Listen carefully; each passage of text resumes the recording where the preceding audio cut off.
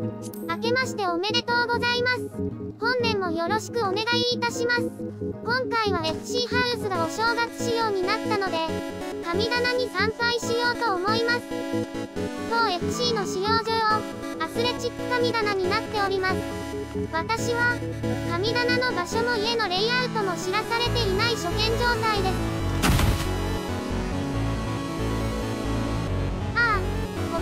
ャンプして向かい側に飛び乗るんだな。普通のジャンプじゃ届かないから助走をつけるんでしょ知ってる W え？はい僕。起動。